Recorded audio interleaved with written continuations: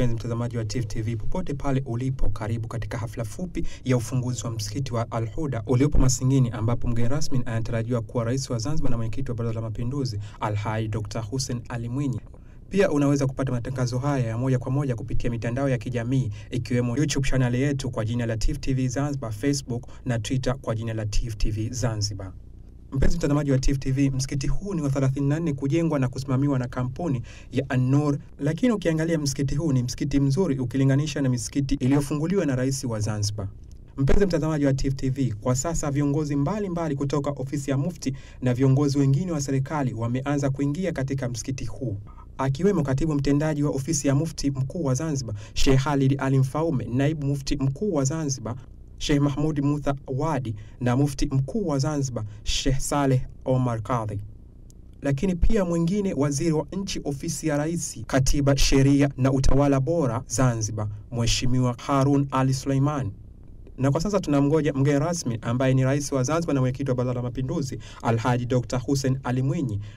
Mpenzi mtazamaji wa Tifu TV, kwa mbali naona msafara wa mgeni rasmi unakuja na viongozi mbalimbali akiwemo katibu mtendaji Sheikh Khalid Ali Mfaume, imamu mkuu wa msikiti huu Sheikh Ali Rashid Hamis na viongozi wengine wa msikiti pamoja na kampuni ya An-Nur wameshakaa katika eneo lililotengwa kwa ajili ya kumpokea mgeni rasmi.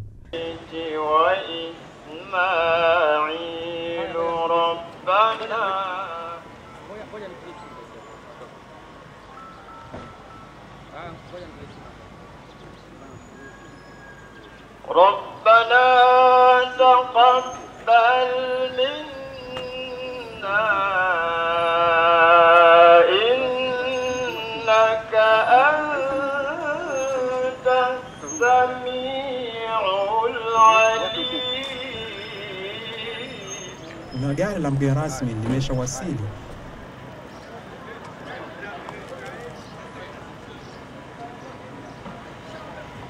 na kwa sasa mgeni rasmi anashuka na kupokelewa na waziri wa nchi ofisi ya rais katiba sheria na utawala bora Zanzibar Mheshimiwa Harun Al Suleimani na kusalimiana na viongozi mbalimbali mbali.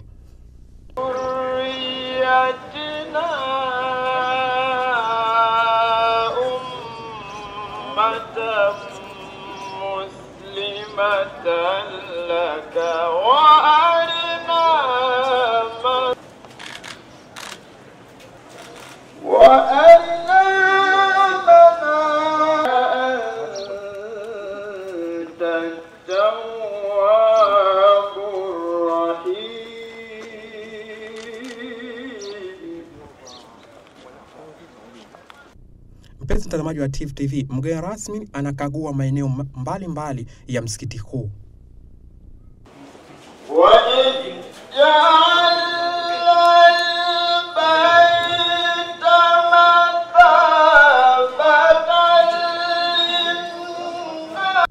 na kwa sasa mgeni rasmi anaelekea katika eneo maalum kwa ajili ya michezo mbalimbali kwa watoto watakaobahatika kusoma hapa.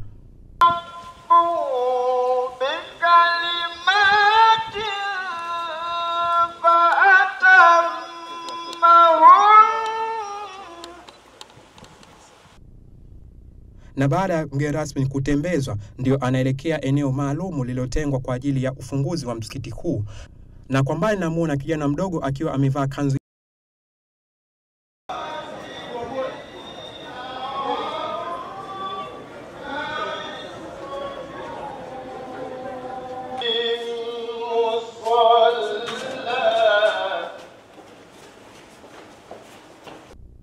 na Mheshimiwa Rais ameshafika na namuona ananena jambo kidogo na kijana yule, huku akicheka kama ilivyo desturi yake, akikutana na vijana wadogo kuzungumza nao ili kusikiliza mawazo na maombi ya watoto kwa viongozi wao.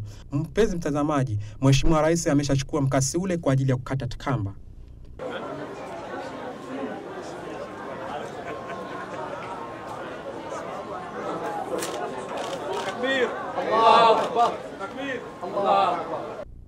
Na tayari ameshakata kamba na anaingia ndani msikitini kwa lengo la kusikiliza hutuba ya sala ya Ijumaa itakayosomwa na Sheikh Abdul Karim Saidi Abdallah.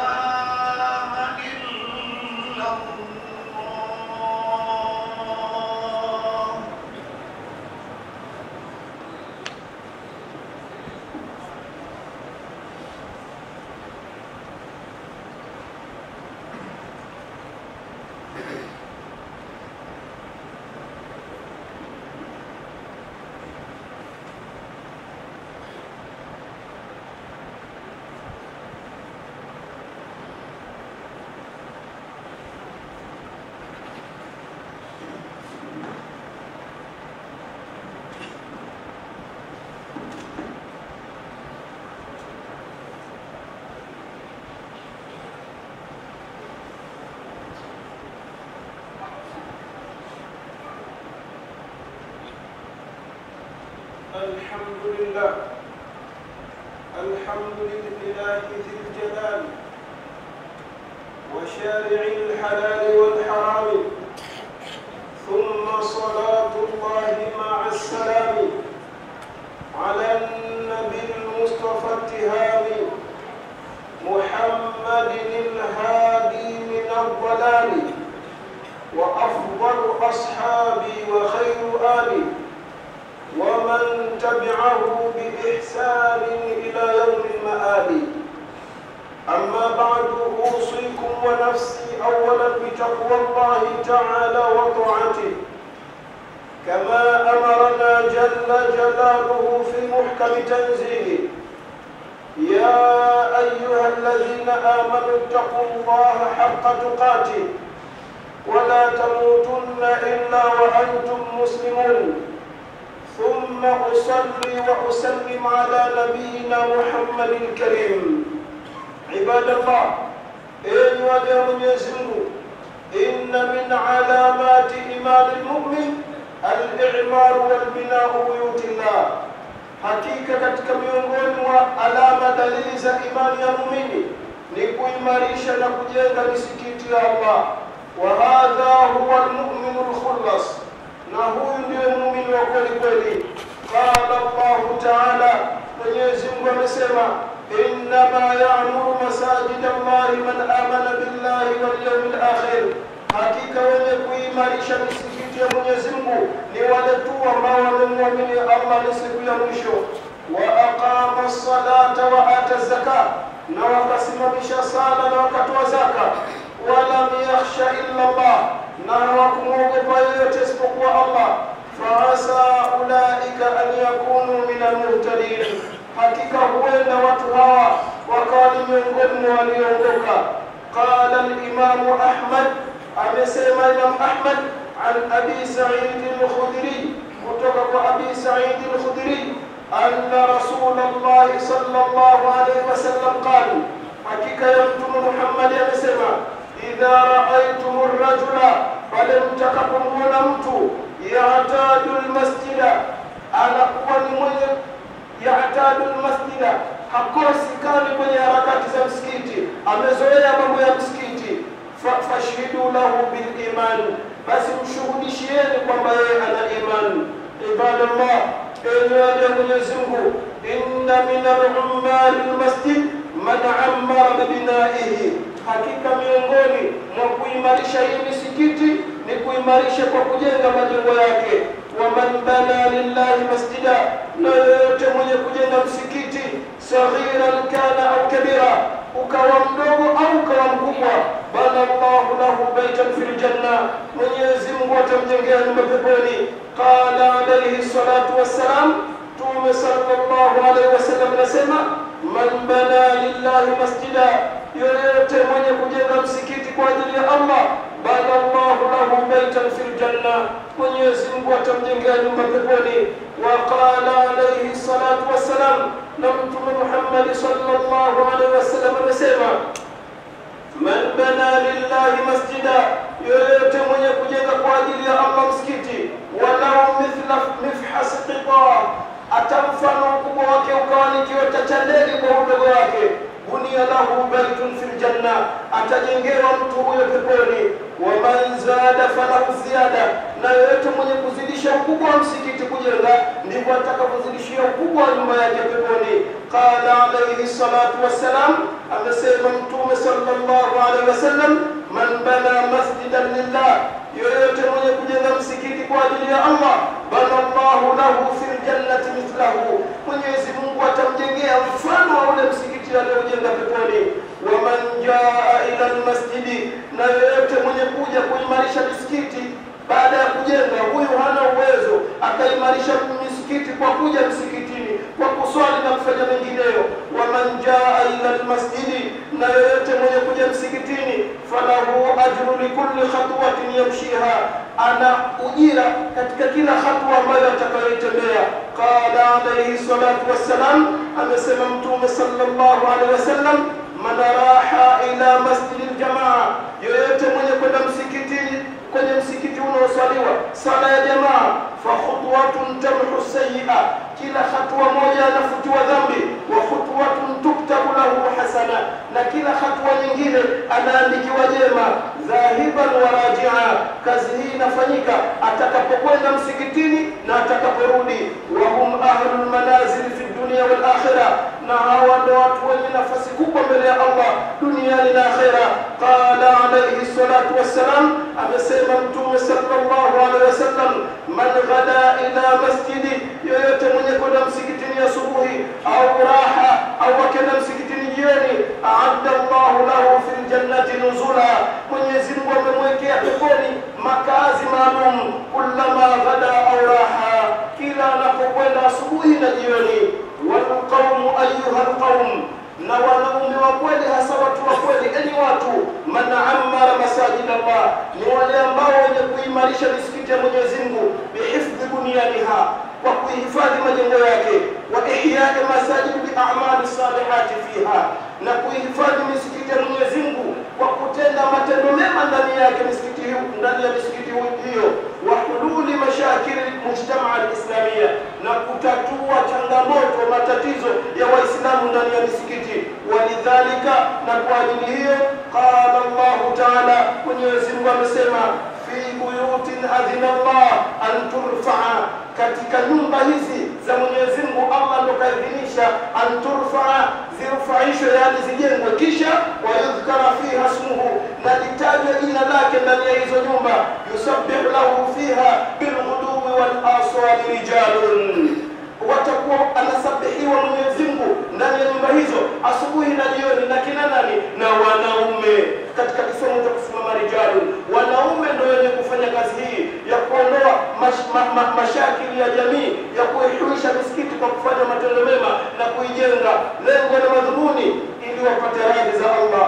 Waalamu ibadallah, nafahamuni enyi waja Mwenyezi Mungu, anna masajida hakika hii misikiti yetu mambau utakwa wa tahara, ndo chimbuko chemchemu ya uchamungu na chembu- na ndo- chemchemu ya tahara, taharatu dhahiratu walbatina, ndo chemchemu ya usafi unaoonekana na ndo chemchemu ya usafi wa moyo. Min qala llahu subhanahu wa ta'ala, Mwenyezi Mungu subhanahu wa ta'ala amesema la ussisa ala taqwa min awwali yawmin ahaqqu an taquma fihi fihi rijalun yuhibbuna an yatatahharu wallahu yuhibbul mutahhirin. Allah anasema msikiti ulioasisiwa kwa ajili ya uchamungu, yani sehemu ya uchamungu ni msikitini. Mwenyezi Mungu anasema min awwali yawmin ahaqqu an taquma fihi, kutoka toka ile siku ya mwanzo Muhammad umeingia Madina, ule msikiti ulioasisiwa kwa uchamungu, wewe ndio una haki ya kusimama. Kwa nini? Kwa sababu fihi rijalu yuhibuna an yatatahharu, ndani ya huu msikiti kuna wanaume wanapenda kuwa wasafi nje na wanapenda kuwa wasafi ndani ya nyoyo zao. Wallahu yuhibu lmutahirin na Mwenyezi Mungu anawapenda wenye kus- kujisafisha mavazi yao ya nje na nyoyo zao.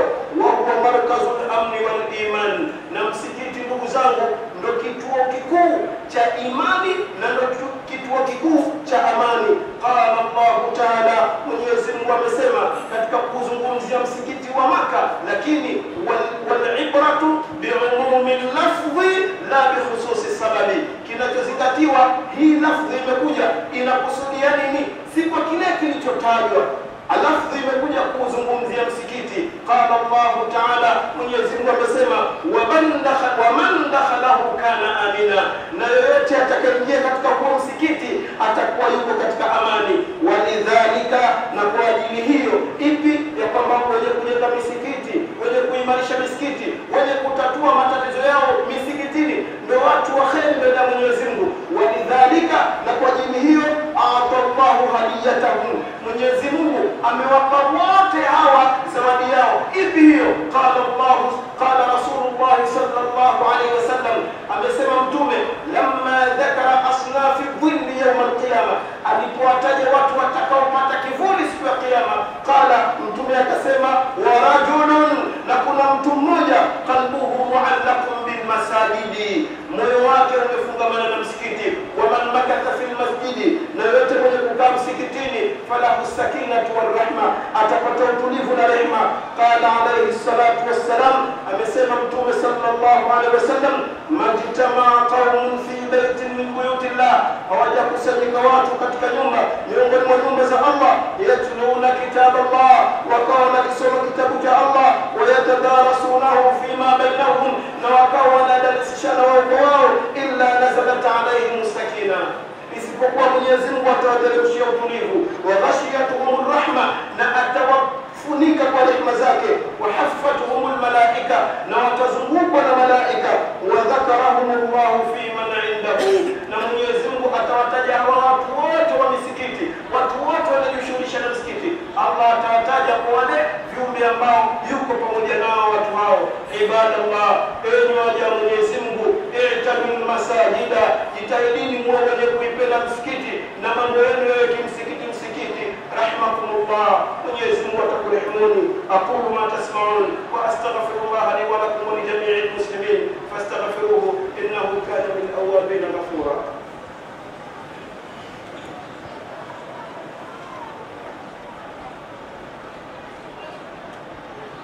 إن الحمد لله الحمد لله على إحسانه والشكر له على توفيقه وامتنانه وأشهد أن لا إله إلا الله وحده لا شريك له. تعظيما لشانه وأشهد أن سيدنا محمدا عبده ورسوله الداعي إلى رضوانه. عباد الله أوصيكم ونفسي أولا بتقوى الله تعالى وطاعته. كما أمرنا جل جلاله في محكم تنزيله. يا أيها الذين آمنوا اتقوا الله ولتنظر نفس ما قدمت لغد واتقوا الله. إن الله خبير بما تعملون. ولا تكونوا كالذين قالوا سمعنا وهم لا يسمعون. عباد الله إن الله أمركم بأمر بدا فيه بنفسه وثنى بملائكة مسبحة قدسه وثلثت من بنيته أيها الجن وإنسه فقال الله تعالى مخبرا وآمرا إن الله وملائكته يصلون على النبي. يا أيها الذين آمنوا صلوا عليه وسلموا تسليما. اللهم صل على سيدنا محمد وعلى آل سيدنا محمد كما صليت على إبراهيم وعلى آل إبراهيم وبارك على محمد وعلى آل محمد كما باركت على إبراهيم وعلى آل إبراهيم في العالمين إنك حميد مجيد.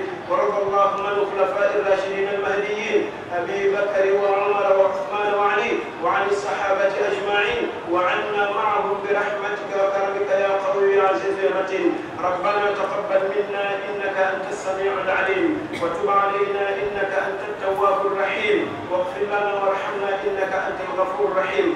اللهم اصلح ولاة المسلمين خصوصا منهم الرئيس الزنجبار الحاج الدكتور حسين علي مني اللهم وفقه للعدل وجنبه الجور والظلم والفسوق والعصيان. اللهم اجعل هذا بلدا امنا مطمئنا سخاء رخاء وسائر بلاد المسلمين. اللهم اجعل هذا بلدا آمنا مطمئنا. سخاء رخاء وسائر بلاد المسلمين. اللهم اجعل هذا بلدا آمنا مطمئنا. سخاء رخاء وسائر بلاد المسلمين. ربنا آتنا في الدنيا حسنة وفي الآخرة حسنة وقنا عذاب النار. اللهم اغفر للمؤمنين والمؤمنات والمسلمين والمسلمات. الأحياء منهم والأموات. برحمتك يا أرحم الراحمين. سبحان ربك رب العزة عما يصفون. وسلام على المرسلين. والحمد لله والشكر لله رب العالمين. وأقم الصلاة.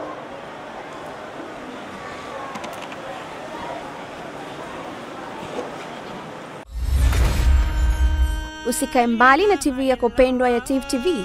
Sasa inakuletea katika vilivyokuwa vikimpendeza Bwana Mtume Muhammad sallallahu alaihi wasallam. Khulufni anamwambia Haruna, nishikie nafasi yangu, sababu haba Nusrela hawawachi bila kiongozi. Wewe na kuachia wewe saa zamana, mimi nikiondoka hawa watizame vizuri, watu wenyewe hawa korofi hawa. Ni darsa tafsiri ya Qur'ani kuanzia aya 90 ya suratul Al-A'rafu na kitabu cha Mawaidhati Mu'min kutoka kwa Ustadh Abdalla Mzee, Masjid Mwembe, Tanga. Haruna kuona anavutwa na Musa kisha kasirika, akajua huyu atanumiza, na Musa mkali, kaka yangu huyu, eh, upande wa mama hawa wamesema mama zao, akasema huyu mimi atanumiza. Ni kila siku ya Ijumaa saa nane na nusu mchana na marudio yake ni Ijumaa hiyo hiyo saa tatu kamili usiku. Wabillahi taufik. Tifu TV tupo kijamii zaidi. Mpenzi mtazamaji wa Tifu TV, kama ndio kwanza unafungua televisheni yako, leo hii tupo Masingini katika ufunguzi wa msikiti wa Al Huda, na mgeni rasmi ni rais wa Zanzibar na mwenyekiti wa Baraza la Mapinduzi Alhaji Dr Hussein Ali Mwinyi. Na baada ya hotuba ya sala ya Ijumaa ndani ya msikiti wa Al Huda, viongozi mbalimbali mbali kutoka ofisi ya mufti kuu wa Zanzibar watazungumza na Waislamu. Na kwa sasa tukamsikilize mtu wa itifaki kutoka ofisi ya mufti mkuu wa Zanzibar.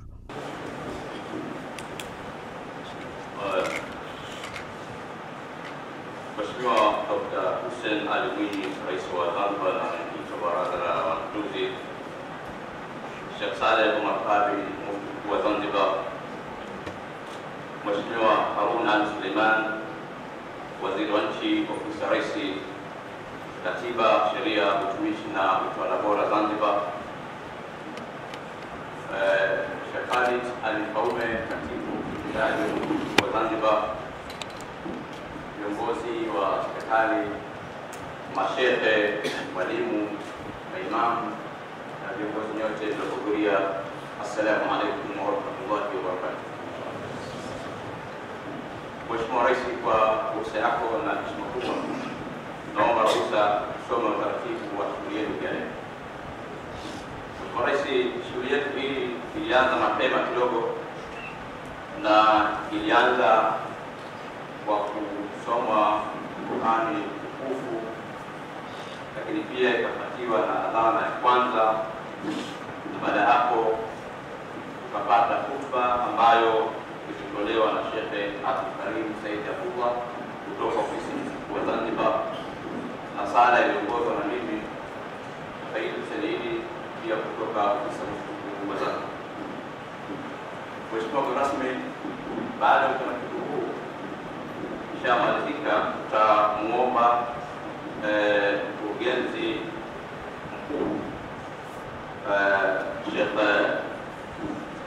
Sheikh Nadir Mahfudh kutoka An-Nur Charitable Agency Tanzania, ambaye huyu atakuja kutoa salamu za taasisi hiyo, lakini baada ya kitendo hicho tutakuja kumkaribisha Sheikh Khalid Al Faume ambaye ni katibu mtendaji ofisi ya mufti mkuu wa Zanzibar, naye kutoa salamu za ofisi ya mufti, na baada ya tukio hilo eh, Mheshimiwa Katibu akimkaribisha kumkaribisha Mheshimiwa Mufti Mkuu wa Zanzibar Sheikh Saleh Omar Kabi ili naye apate nafasi ya kumkaribisha Mheshimiwa Rais Mheshimiwa Rais eh, Mheshimiwa Rais eh, Dr. Hussein Ali.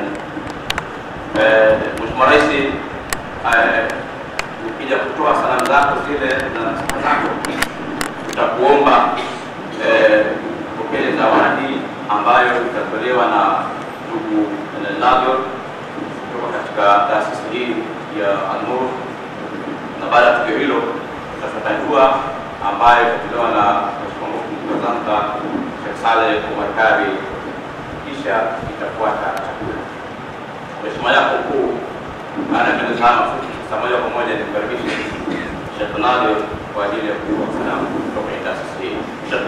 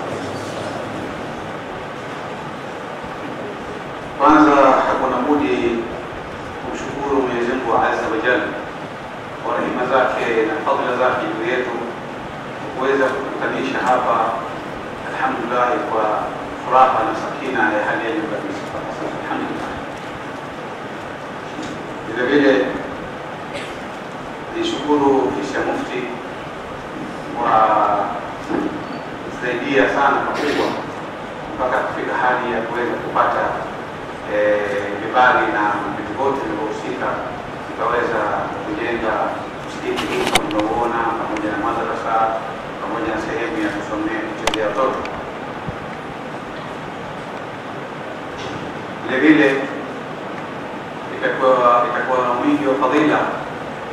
Ikiwa sitomtaja ndugu yetu rafiki yetu mwenzetu eh, Komodoo hapa bwana Msigiri, kamanda Msigiri eh, kwa kikosi chake pia chote na kamanda wake wote KMKM kwa kuweza kutubarikia kiwanja hichi.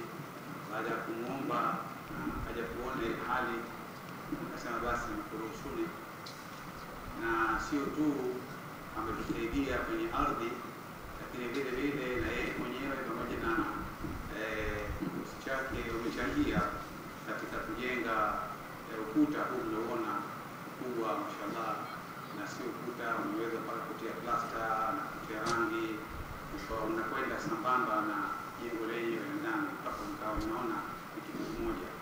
Tunamshukuru sana, asante sana.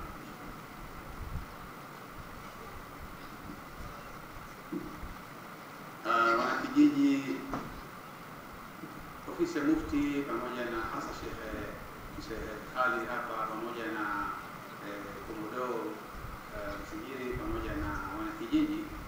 Wameleta ombi dogo hapa la kuweza kusaidia katika ujenzi huu wa hospitali kliniki ya nyuma hapa ambayo inshallah tumeahidi sisi wa- tutatafuta hisani wafadhili na namwomba Mwenyezi Mungu atupe tofiki hiyo.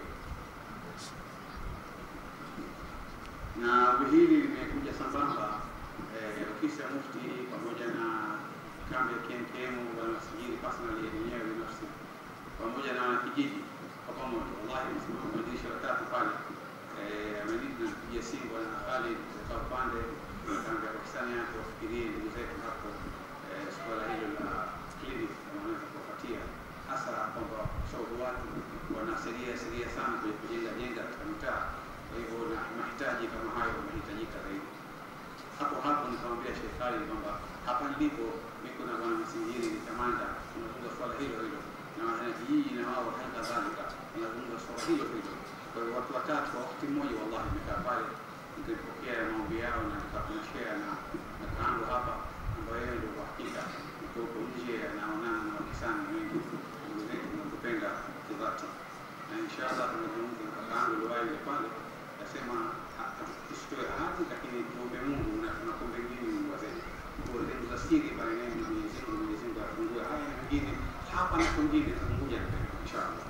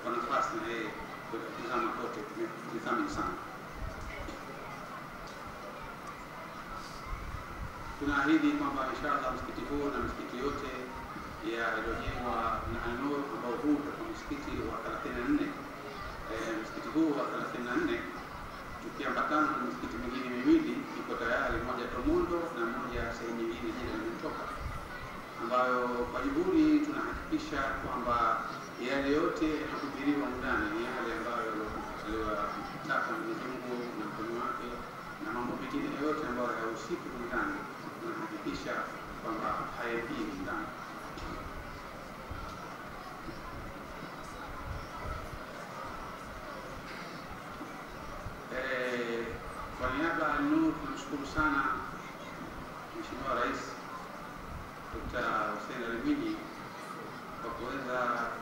kujengea daraja baina ya sisi na wao na Waislamu na wao, hasa upande wa Mtoni Kidatu wa kuja kusali tarawih pale kwa kupitia ofisi ya mufti ndugu yangu Sheikh Khalid ambayo alinifadhilia sana, akaambia inshallah nitakuletea.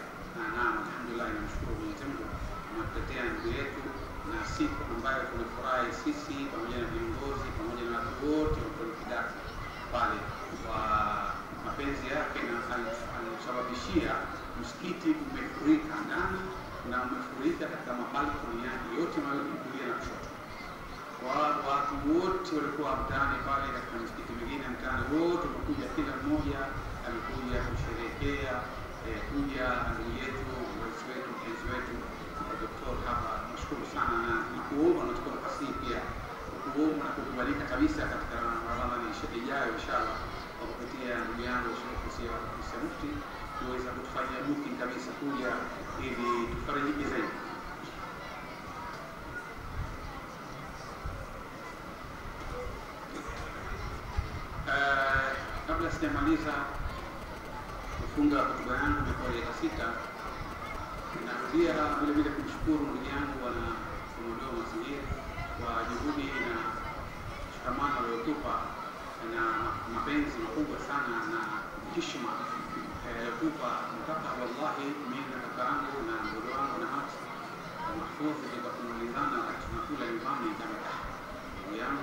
heshima kutoa kupita kiasi, tuenda kamili kwako kupita kiasi, akaenda hata tustahiki tunapokuwa heshima kubwa kama ile. Mtu tunaulizana hapo sababu rafiki yake sana mdogo wangu na hati labda pengine tumepewa kwa sababu heshima yake, na tunaona kwa ufupi tumepata heshima, lakini kuliko vile ambayo tunastahiki. Kwa hivyo nashukuru mara nyingine tena ndugu yangu Azimiri, nakushukuru sana kupita kiasi kwa mapenzi na na maneno yako mawili matatu na kutanguliza Mwenyezi Mungu kumtegemea yeye. Nashukuru sana. Asalamu alaykum. Asante sana yote na washukuru sana watu wote waliotumia wakati wao mashehe, na kama alivyotangaza mwanzo pale, kwa kutumia nafasi yenu kuja hapa kuja kuchagua kuja kusali na sisi hapa pamoja na kushirikiana na sisi katika tafrija ndogo ambayo itafanyika baada ya shughuli hii. Yote haya mfanye mnatamani kuja kuungana na sisi katika kheri hii, na kwa hivyo sisi sina la kusema mimi kwa niaba ya Nur na uongozi wa wa wa msikiti huu nasema asante sana. Assalamu alaikum warahmatullahi taala wabarakatuh. Jazakallah.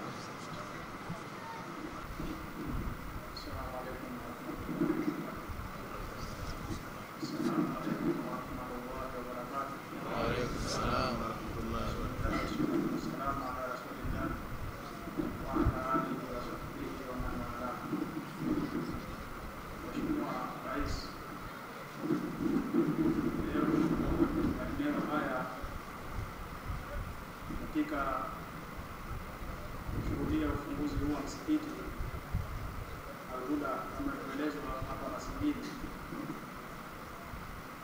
na fadhila za mwenye kujenga msikiti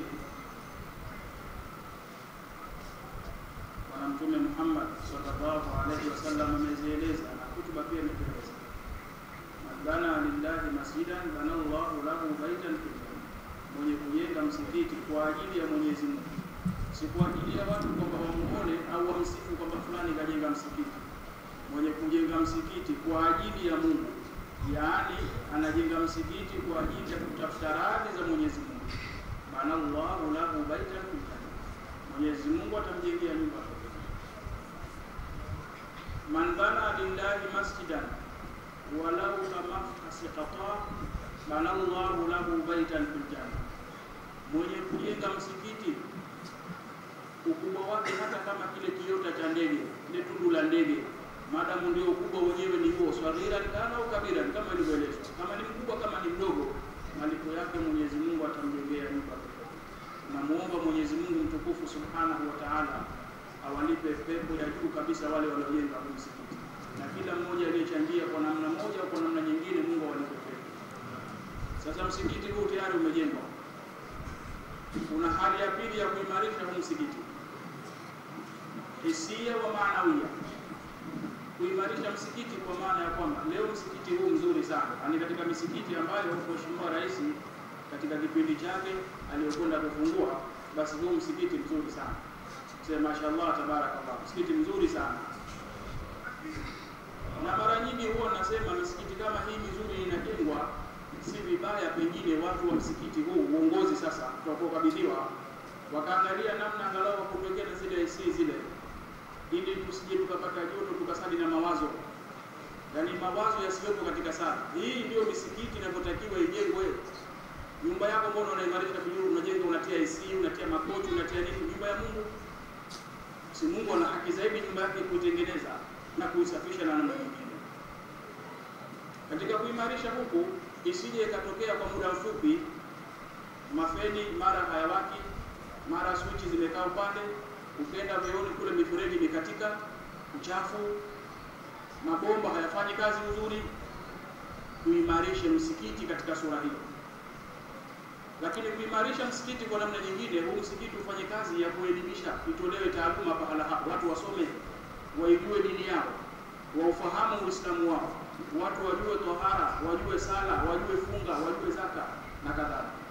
Hiyo ni kuimarisha msikiti, na wala isije ikatokea magomvi, maana kuna baadhi ya misikiti kamati zinakuwa ziko ndogo ndogo, msikiti ukiwa mdogo hivi, msikiti ukishakuwa mkubwa na kamati zinaongezeka zinakuwa nyingi, kila mmoja anataka uongozi wa msikiti, na ndio magomvi yanapoanza. Usingependa kuona msikiti huu baada ya muda mfupi tukatokea migogoro, tunaanza kuja kusuluhisha migogoro hapa ofisi ya mufti.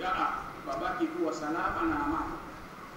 Sasa katika kuimarisha msikiti, mara nyingi Mheshimiwa Rais amekuwa anatueleza msikiti usifanye kazi peke yake ya kusali na kuondoka msikiti uwe na kazi ya kutatua matatizo ya jamii, na yako mengi ambayo Mheshimiwa Rais mara nyingi anakuwa anaeleza.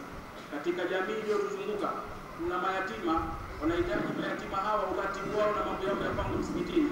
Kuna wajane utaratibu wao hata wa kuolewa vile vile upangwe msikitini, imamu na wasaidizi wake wajitolee kuongeza wake upango msikitini na kuwahudumia na, na mambo mengine. Na bahati nzuri kambini hapo wako maskari basi si vibaya na wakatabaru matatizo yote yanahusu jamii. Pana wizi wa mazao na mifugo, haya mambo yanatibiwa msikitini, namna gani ya kuweza kuondosha wizi wa mazao na mifugo na kadhalika na mambo mengine. Lakini pia tunapozungumza mambo yanayohusiana matatizo ya jamii, yako mengi. Mfano, katika jamii kuna ubakaji, sasa. Kuna ulawiti. Mambo ya vitendo vya ushoga eh, na mengineyo, wanaume kwa wanaume, wanawake kwa wanawake, ndio maji ya mdimu. Laana Allahu man amila amala qaumi Mwenyezi Mungu amemlaani mwenye kufanya vitendo vya kaumu mwanamume kwa mwanamume. Nabii Lut aliwaambia watu wake, ataatuna alfahisha tamasa sabaqakum biha min ahadi min alalamin, hivi nyinyi mnawaendea wanaume wenzenu jambo hili hakuna aliofanya katika ulimwengu mzima. Nyendo wa mwanzo mnaanzisha uovu huu, wanaume kwa wanaume. fa innakum lataatuna rijala shahwatan min duni nisa, mnawaendea wanaume wenzenu badala ya wanawake.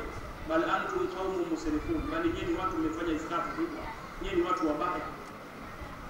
Lakini leo pia jamii inatakiwa ifahamu, unapozungumza uovu, uovu ni uovu tu, haina maana kwamba uovu huo wakiwa kafanya mtu kutoka nje ama kutoka ndani. Uovu ni uovu tu basi, na isifike pahala jamii ikaanza kuleta tashtiti au jamii kuleta kejeli, na zaidi ikaonekana kwamba serikali ndio iliyosababisha haya, na wengine katika istizai hiyo wanaweza wakaja na sura wakaonyesha baadhi ya mambo, alafu unasema uchumi wa buluu huo na utalii huo vinahusiana nini?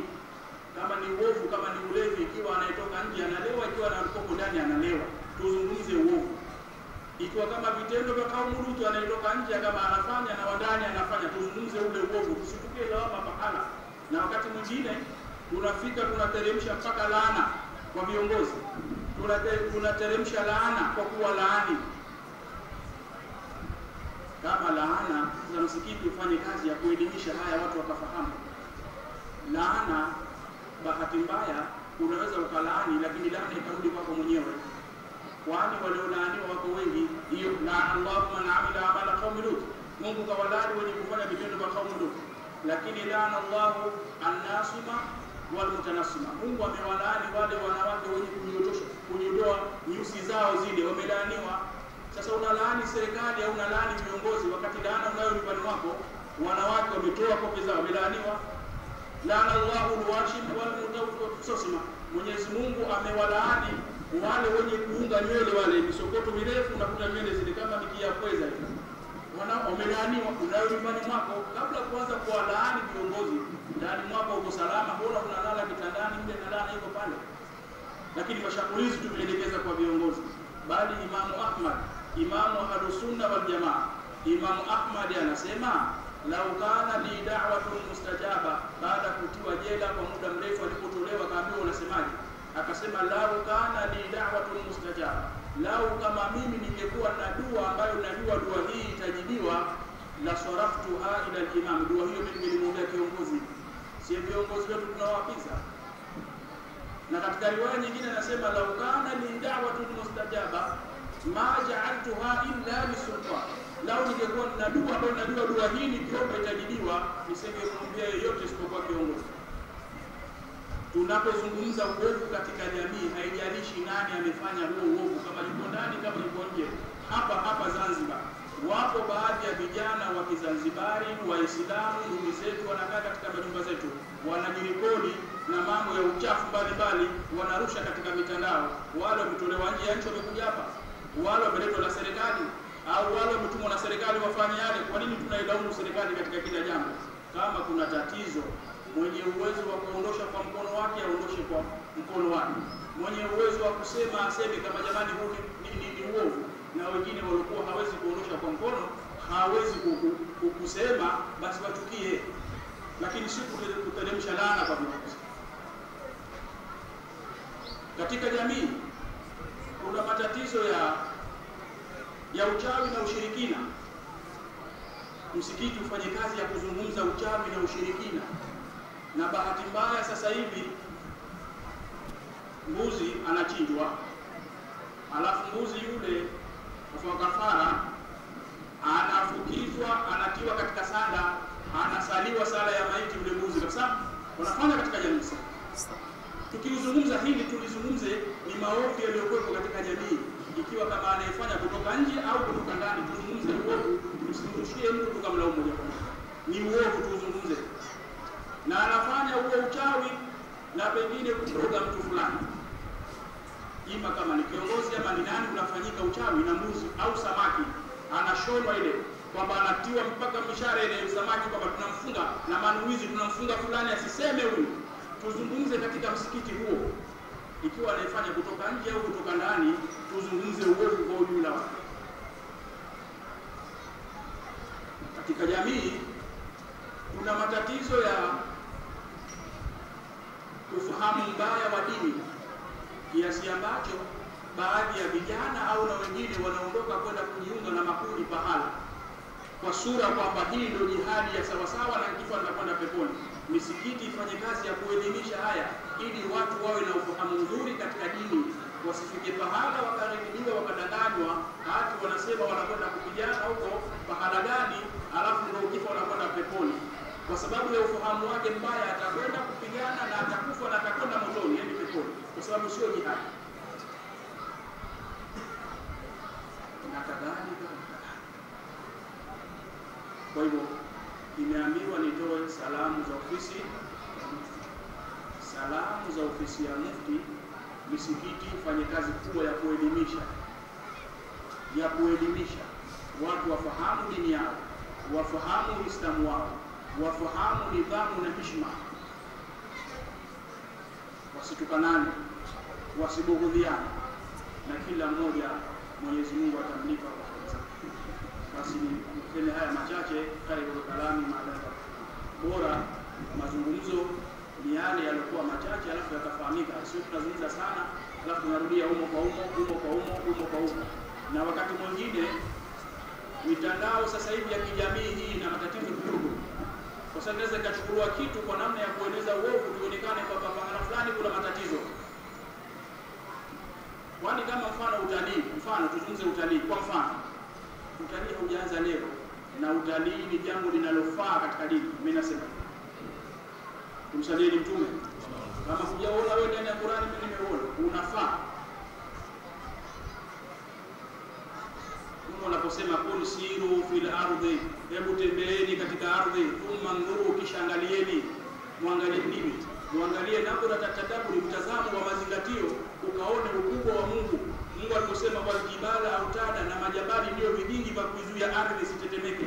Sasa ukikaa hapa bila kutembea kwenda kufanya utalii, ukaenda ukaona mlima wa Kilimanjaro, unajua ukubwa wa Mungu ukenda mbuga za wanyama unaona kumbe Mungu hadha khalqullahi faaruni madha khalaqa alladhina min duni, unapata kuona. Na katika suratu At-Tauba, baraatu min Allahi wa rasuli fasihu fil ardi, tembeeni katika ardhi. Kwani leo hata Misri utalii wao Firauni yule mzee mzima aliojita Mungu pale, si utalii unaangizia kipato? ili watu waone ukubwa wa Mungu. Jamaa aliyejiita Mungu mwisho wake ulikuwaje? Unakwenda kuangalia, ni utalii, watu wanapata fedha katika nchi unatumikaje? Tukisema kwamba kila kitu hakifai kwa sababu ya pengine tu, basi hata visu tunavyotumia havifai na mapanga pia hayafai. Maana kisu unaenda kutumia kisu na katia kitunguu, kisu nakijia kuku ngala supu mimi, kisu unatumia kwa ajili ya kupata mkate, lakini kisu hicho hicho mwingine anatumia kwenda kufanya ujambazi. Hata simu zetu hizi tunatumia mapicha mbalimbali katika simu kwa mambo ya uchafu, watu wanatumia haifai kwa namna hiyo simu, lakini kama unatumia kusoma, kupokea simu, mawasiliano, kwa namna hiyo itakuwa inafaa. Hivyo msikiti ufanye kazi ya kuelimisha watu Uislamu uliokuwa sahihi na kuacha ile tabia ya kueneza uovu uenee, uovu uenee, au kukupa lawama kwa watu fulani. Mwenyezi Mungu atujalie min alladhina yastami'una alqaula fattabi'una ahsana, isije nikajisahau ikawa sina mimi ndio hotuba yangu leo hapa, wakati shughuli mwenyewe rais yuko hapa, mtukufu rais na kwa heshima kubwa na taadhima, sasa mkaribishe Mheshimiwa Mufti Mkuu wa Zanzibar Sheikh Saleh Makabi aweze kusema machache na hatimaye Mpenzi mtazamaji, huyo alikuwa katibu mtendaji ofisi ya mufti mkuu wa Zanzibar, Sheikh Khalid Ali Mfaume. Katika mambo aliyoyagusia amesema misikiti mingi ikiwa midogo, kamati za msikiti huwa ndogo ndogo, na ikiwa mikubwa, kamati za msikiti huongezeka, jambo ambalo hupelekea ugomvi kutokana na kila mtu kutaka uongozi katika msikiti huo. Hivyo amewaomba Waislamu wa msikiti huo na wengine kuhakikisha hakutokuwa na suala hilo ili kuepukana na ugomvi wa aina yoyote. Badala yake misikiti iwe imara na kusukuma mbele maendeleo ya dini ya Kiislamu. Mpenzi mtazamaji wa Tifu TV, kwa muda huu mufti mkuu wa Zanzibar Sheikh Saleh Omar Kadhi atazungumza na Waislamu. anawatawalishia anautawala wa mtu ambaye kwamba wanampenda naye anawapenda.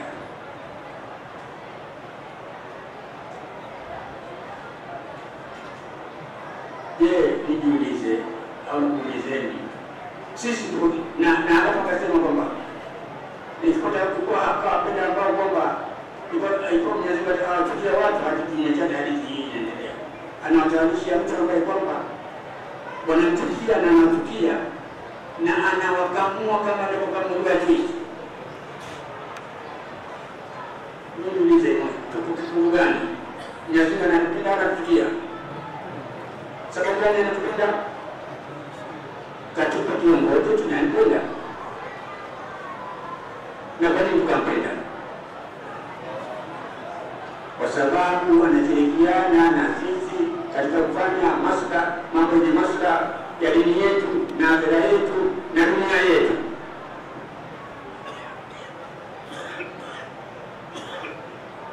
Miongoni mwa hayo kuhudhuria majalisi mbalimbali za elimu na kuhudhuria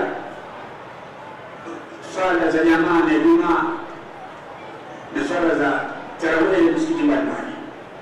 Haya ni mambo ambayo makubwa kabisa, na miongoni mwa hayo ni kufungua misikiti.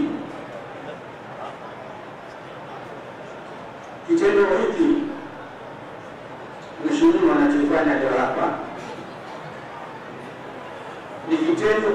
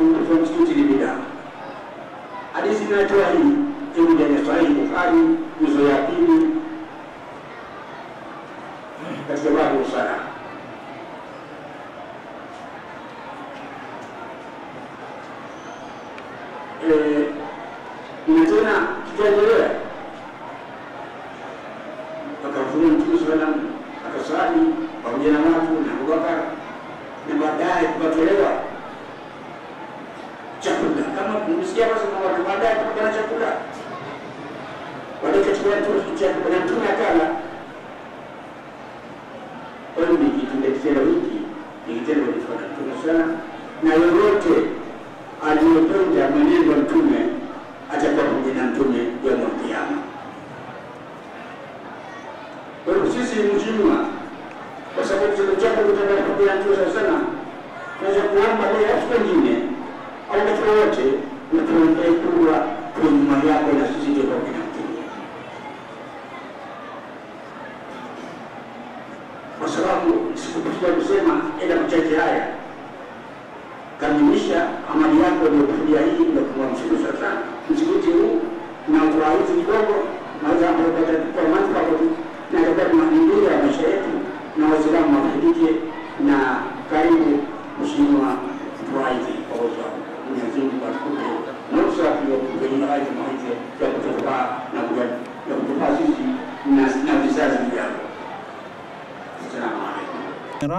atazungumza na Waislamu waliomo ndani na nje ya msikiti huu.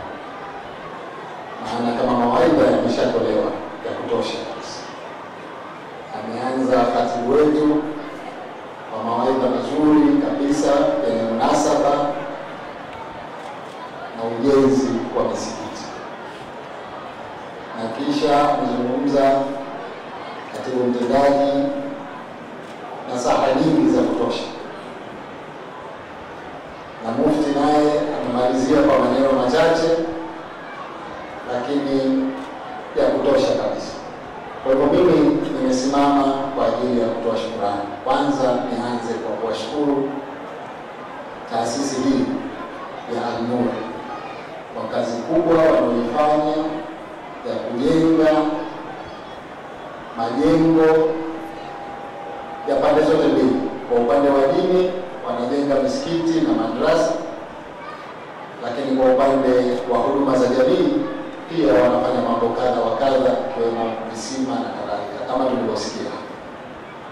Kwa hivyo nichukue fursa hii kuwashukuru na kuwapongeza sana kwa kazi kubwa sana Nisikia wenyewe wanasema huu ni msikiti wa 34 si hapa. mashaba, kazi kubwa wamefanya, na misikiti yao baadhi na madrasa kama hivi, na huko tunaangua kuna huduma za kijamii zinatolewa vile vile, maji na kadhalika, katika maeneo mbalimbali. Hilo sisi tunaliona hili la upande wa huduma za jamii kama ni wajibu wa serikali, lakini serikali peke yake haiwezi kufanya kila kitu. Kwa hivyo tunapopata taasisi kama hizi zikawa zinatusaidia kufikisha huduma za jamii kwa wananchi, hatuna budi kuwashukuru. Kwa hivyo tunawashukuru kwa dhati, asanteni sana. Mwenyezi Mungu akulipeni kila la heri. Pili ni washukuru wote waliochangia katika kufanikisha ujenzi huu wa msikiti na madrasa.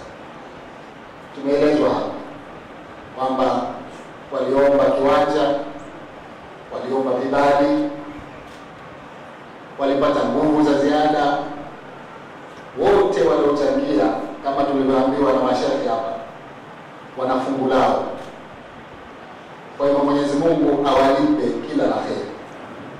Waliotoa kiwanja kupitia kwa Komodo Msingiri hapa, waliojenga ukuta vijana wa Komodo Msingiri, waliotoa vibali ofisi ya Mufti na ofisi nyingine za serikali, wote tunawashukuru sana kwa kus- kwa kusababisha kwamba leo tuko hapa tunaufungua msikiti huu na madrasa yake vimekamilika na vitatoa huduma ya kiroho kwa wananchi wetu. Tatu, nilitaka nichukue fursa hii niseme kidogo kuhusu mmomonyoko wa maadili katika jamii kwa sasa.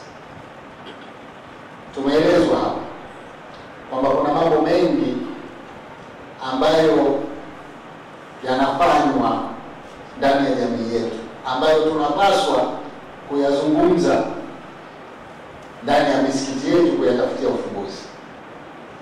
Leo nataka niseme mambo matatu ambayo yamekuwa yanachafua sura ya nchi yetu na jamii zetu.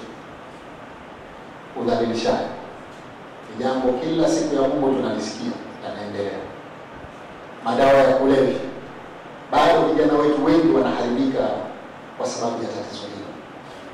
Lakini wizi na ubadhirifu wa mali ya umma ndani ya serikali na taasisi za serikali ni mambo ambayo yanaendelea. Tukijiuliza tufanyeje? Huku kuna vyombo vya ulinzi na usalama wanafanya majukumu yao, lakini pamoja na kufanya huko, tunaona yale mambo bado yanajirudia sana. Mimi nasema kuna sehemu inataka nguvu zetu, nayo ni kujenga hofu ya Mwenyezi Mungu kwa watoto wetu. Maadili ya kidini yanajengwa mapema utotoni. Binadamu akimwogopa Mwenyezi Mungu atajiepusha na yote haya, kwa sababu yule anayemwogopa tu polisi, polisi asipokuwepo atafanya, na ndiyo yanayotokea leo. Kuna udhalilishaji kila bahari, tunayasikia.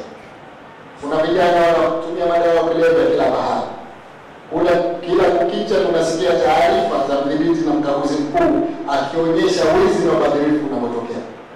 Ni kwa sababu wanaosimamia hayo wasipokuwepo watu wanafanya, lakini anayemwogopa Mwenyezi Mungu anajua wakati wote yupo, hawezi kufanya haya.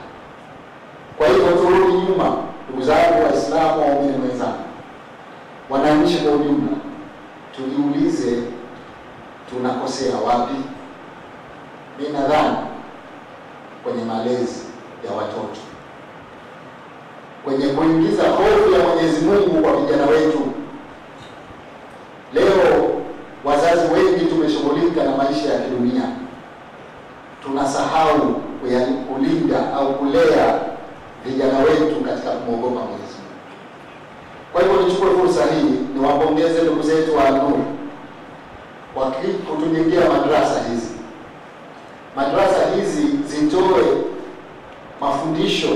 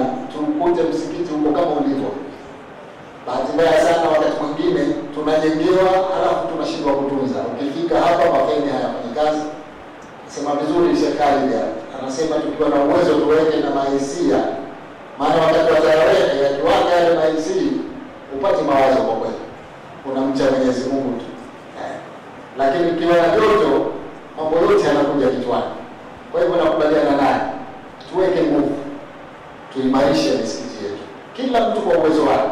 Unaweza ukafanya kikubwa au ukafanya kidogo, lakini utakuwa umeimarisha misingi yetu.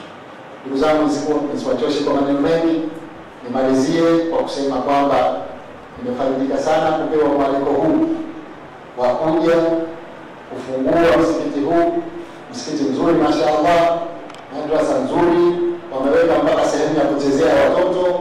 Ile sehemu ya kuchezea watoto itawa maana kuna kusoma lakini na kuna kucheza. Kwa hivyo vijana wetu watakuja pale waweze kupata kufundishwa, kuingizwa kumwogopa Mwenyezi Mungu. Hilo ndio nilikuwa nalizungumza mwanzo.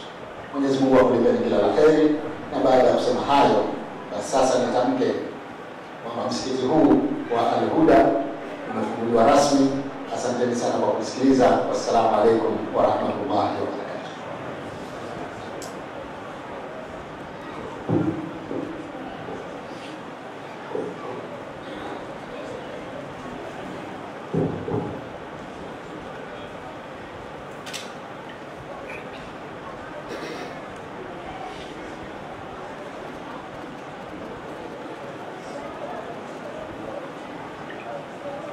Mheshimiwa Rais, tunakushukuru sana kwa hotuba nzuri na nasaha njema kwa taifa. Mwenyezi Mungu akupe kila la heri na kuhifadhi. Kama unaofungua hii msikiti, basi pia Allah ajalie ufungue mlango wa pepo tukufu. Baada ya nasaha hizo, eh, sasa ni wakati wa kupokea zawadi. Kutakuwa kuna zawadi ambayo anaipokea Mheshimiwa eh, Rais wa, wa Zanzibar kutoka kwa mkurugenzi mkuu eh, lakini pia vile vile atamkabidhi eh, ufunguo atakabidhiwa ufunguo Mheshimiwa Rais na ufunguo huo Mheshimiwa Rais Mpenzi mtazamaji wa Tifu TV, kwa sasa Mheshimiwa Rais ameshazungumza na kutamka rasmi ufunguzi wa msikiti huu. Kwa sasa atapokea zawadi kutoka kampuni ya An-Nur na kumkabidhi ufunguo imamu mkuu wa msikiti huu Sheikh Ali Rashid Hamis. Lakini nikukumbushe kwa ufupi mambo aliyozungumza mgeni rasmi katika hotuba yake fupi. Amesema hofu ya kiimani hujengwa tokea utotoni, hivyo amewataka Waislamu wawajenge watoto wao katika hofu ya kumwogopa Mwenyezi Mungu ili kudhibiti mmonyoko wa maadili unaosababishwa na udhalilishaji, dawa za kulevya na wizi na ubadilifu wa mali za umma unaofanyika katika mataasisi na idara za serikali. Lakini Mheshimiwa Rais amewapongeza waliofanikisha ujenzi wa msikiti huu wakiwemo kampuni ya An-Nur, wananchi na jeshi la KMKM kwa kutoa eneo na ofisi ya Mufti kwa kutoa kibali cha ujenzi wa msikiti huu. Lakini amewataka kuhakikisha wanautunza msikiti huu na kuimarisha zaidi. Pia jambo kubwa alilozungumza katika hotuba yake ni kuwataka Waislamu kutumia misikiti kujadili mambo ya maendeleo katika jamii na kusuluhisha migogoro katika jamii. E, tunapeleka maiki hii kwa Mheshimiwa Mkuu wa Zanzibar kwa ajili ya kupitia dua.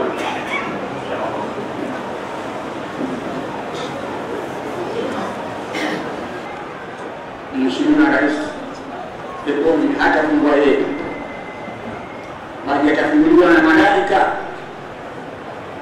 Utakwenda kuta tayari mafutuhu utafunguliwa pepo yake, hata idha jauha wa futihat abwabuha, hata kufika pale mlangoni tayari itafunguliwa mlango yake.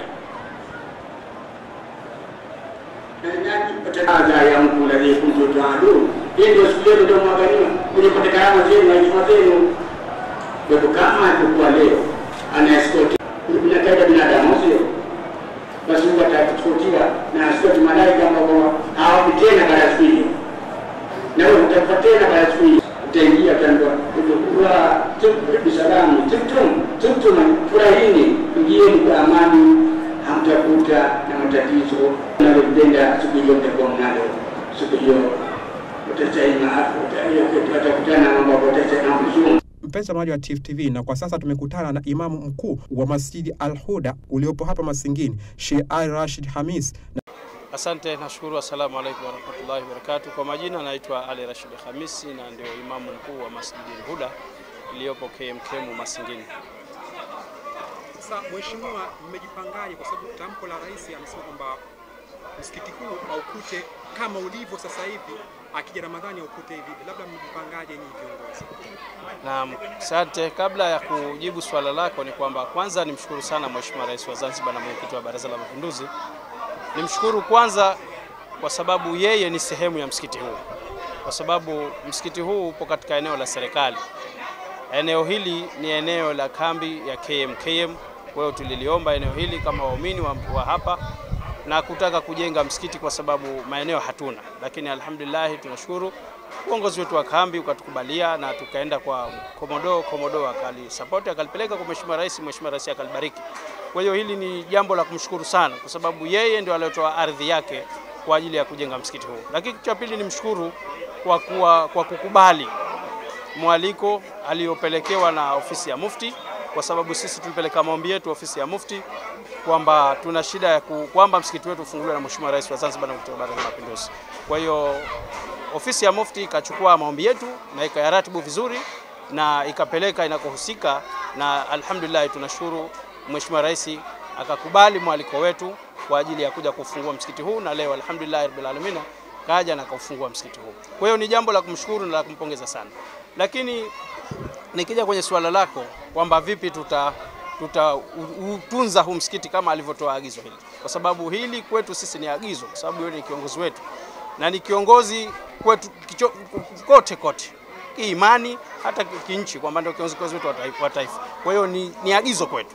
Kwa inshallah hilo kama imamu na timu yangu tumejipanga vizuri sana, kwa sababu sasa hivi tulichobakia tuna, tuta, tuta, tumeunda kamati kamati ambayo ya usimamizi wa msikiti kuhusu mambo yote na haya yataratibiwa na yatakuwa na usimamizi wa hali ya juu, kukiwa na kiongozi anayesimamia kila kada ambayo itakuwa imewekwa. Kwa hiyo suala la usafi kama alivyoagiza Mheshimiwa Rais ni kipaumbele chetu, kwa sababu unaokuta msikiti uko katika mazingira mazuri, bustani za kupendeza zinataka kuhudumiwa, vyoo ni vitu ambavyo vina, katika vitu ambavyo vinahitajika kwa vi, vi, visafi basi ni vyoo, kwa sababu Mtume sallallahu alaihi wasallam anasema swala ya muumini inaanza chooni. Sasa ni lazima tujikite katika usafi. Usafi ndiyo jambo la mwanzo, kwa sababu usafi ndio imani, usafi ndiyo dini. Kwa hiyo kwa upande wetu hili ni agizo, na inshallah kwa uwezo wa Mwenyezi Mungu tumejipanga vizuri kuhakikisha, kwa sababu Mheshimiwa Rais alisema kwamba yuko tayari kwamba kuja kuisali tarawehe hapa siku ya, ya, ya, ya, ya, Ramadhani. Kwa hiyo tunamhakikishia akija ataukuta kama ulivyo ama zaidi ya hapo, kwa sababu yako mambo wakati mwingine tunaweza hisi kwamba haya yatazidisha na taboresha basi tutayafanya kwa nguvu zetu zote na tutahakikisha kwamba uko katika hali ya usafi mkubwa sana, kwa sababu muis, al, al, nani, dini inasema alislamu nadhifu, Uislamu ni usafi. Fatanadhafu, Mtume swalla salam anasema basi jisafisheni, jiekeni nadhifu. Kwa sababu gani? la, la yadkhulul janna illa nadhif, haingii yoyote peponi isipokuwa mtu msafi. Kwa hiyo hili ni agizo la dini yetu.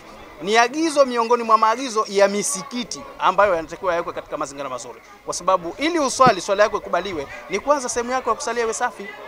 Kwa hiyo ndio dini ilivyoagiza. Sasa kama hivi ndivyo, maana yake ni kipaumbele chetu cha kuhakikisha msikiti unabakia katika mazingira mazuri, katika mazingira ya usafi, na hususan sehemu ambazo ni sehemu muhimu, sehemu za vyooni hizi tutahakikisha tunadili nazo vizuri kwa kupiga madawa kila wakati, kwa kuhakikisha mazingira yote yawe. Mtu anatoka chooni moja kwa moja anakwenda zake kutia udhu akiwa amesalimika kabisa, yuko vizuri, hana wasiwasi. Kwa hiyo anakuja kutekeleza ibada yake akiwa ni safi kabisa. Kwa hiyo hili tumejipanga, na inshallah kwa Mwenyezi Mungu, Mwenyezi Mungu atatusimamia ili tuweze kulikamilisha inshallah. Lakini mheshimiwa, kuna hichi kimoja ambacho kwenye hotuba kimezungumzwa, lakini mheshimiwa pia mufti na viongozi mbalimbali wamekizungumzia kuhusiana na ule itikadi au mwamko mbaya wa jamii, kusema kwamba wanalani serikali au wanaitupia madongo serikali. Sasa wewe hili unazungumziaje? Ah, ni sahihi kabisa kwa sababu sehemu za misikiti ni sehemu za, za ibada. Nini ibada? Kwa sababu hichi lazima tujiulize kwanza, ni nini ibada? Ibada ni kila kile ambacho Allah subhanahu wa ta'ala akakiridhia. Hii ndiyo ibada. Sasa na Mtume sallallahu alaihi wasallam alikuwa mambo yake yote, mambo yake yote anamalizia msikitini, yawe ya kijamii, yawe ya dini, yanamaliza msikiti, kwa sababu hata haya ya kijamii ni ya dini na ndio maana Mwenyezi Mungu akasema la khaira fi kathiri min najwahum illa man amara bisadaka au ma'rufin au islahi baina nas. Kwa hiyo mambo matatu haya ndio yanayohusu msikiti na ndiyo jamii, ndiyo dini yenyewe, kwamba uamrishe mema na ukataze mabaya, ndio kazi ya msikiti. Au islahi au maarufi au, ma, au maarufi au islahi baina nasi, au mambo ambayo yanahusu jamii ya manfaa. Kuna tatizo kama aliosema nani katibu mtendaji wa Mufti kwamba kuna mambo ya kijamii yanapaswa migogoro yake itatuliwe misikitini, kwa sababu ndiyo mambo ya jamii na ndiyo mambo ya dini. Kwa hiyo hili ni jambo zuri na ni jambo ambalo lipo katika, katika, katika dini, halina wasiwasi. Sasa vipi ya wale ambao labda wanapotosha au wanatumia visivyo, kwa sababu haiwezekani kwamba sehemu kama hii hapa ukaja na mambo yako yaliyokuwa nje ya dini nje ya Uislamu, hayo hayakubaliki. Na ndiyo maana Mtume swalla sallam akasema alkalamu fil masjid yaakulu lhasanati kama yaakulu nara lkhatab, kwamba maneno maneno ambayo hayahusu msikiti basi yanakula mema ya mtu kama vile ambavyo kuni zinaungu, zinaungua kwa moto vile unavyoona kuni zinaungua kwa moto, ndiyo mambo ambayo yanakuwa. Sasa unatoka huko unakuja na mambo yaliyokuwa husiana na dini katika msikiti, ujue unajiangamiza wewe unajiangamiza wewe. Kwa hiyo hili ni jambo ambalo tumelisimamia na inshallah tutalisimamia kwa nguvu zote, kwamba kuhakikisha msikiti unatumika kwa ajili ya maslahi ya watu, kwa ajili ya ibada, na ibada ni mambo hayo matatu niliyokuambia. Ushanifahamu? Mambo hayo matatu ndiyo ibada yenyewe. Kwa hiyo hayo yote yatafanyiwa kazi humu msikitini. Hatutokubali, hatutoruhusu na hatutokuwa hatutokuwa tayari kumuona yoyote anautumia msikiti visivyo bimaana kinyume na utaratibu ambao umekusudiwa msikiti. Huwezi ukaja hapa ukaleta siasa yako, kwa sababu hili si tawi la chama. Hili tawi hili tawi hili ni tawi la la ilaha illa Allah Muhammadu Rasulullah, ni tawi la Uislamu tu. Kwa hiyo hapa kinachotakiwa ni ibada tu, si chengine chochote. Kwa hiyo hatutokubali wala hatutovumilia wala hatutokuwa tayari kuona mtu anatumia katika mambo kama hayo. Kwa hiyo kwa hili kusiwe na wasiwasi, tutalisimamia vizuri na uratibu wake utakuwa ni mzuri mno. Sawa, asante. Naam, asante, nashukuru.